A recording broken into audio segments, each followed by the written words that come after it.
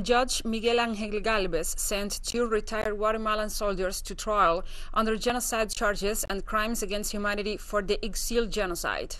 The two accused retired army members are Benedicto Lucas and Manuel Callejas. The resolution by which Galvez ordered the trial process validates almost 200 testimonies, 148 forensic reports, plus scientific, military, and historical documents that confirm the massacre of approximately 1,731 people. For the Association of Justice for the Reconciliation and the Human Rights Office of the Archbishop of Guatemala, the judge's action abides the right of the victims to the truth. Garcia and Callejas were already sentenced to 58 years in prison for the disappearance of the child Marco Antonio Molina Theissen and for the rape of his sister in 2018.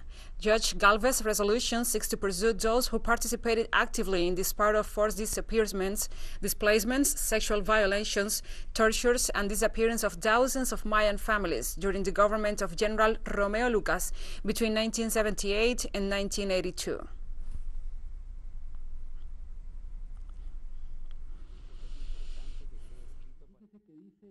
And see here that in another fragment it says to all prisoners of war, I believe, it says that then all prisoners of war were armed guerrillas who were apprehended. It sounded odd that those ten people who arrived that night, none of them carried a firearm. They were all farmers and workers from different places.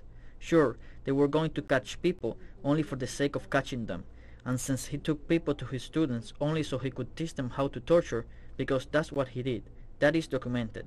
That is why in this hell they held up so many people, and why they buried so many of them.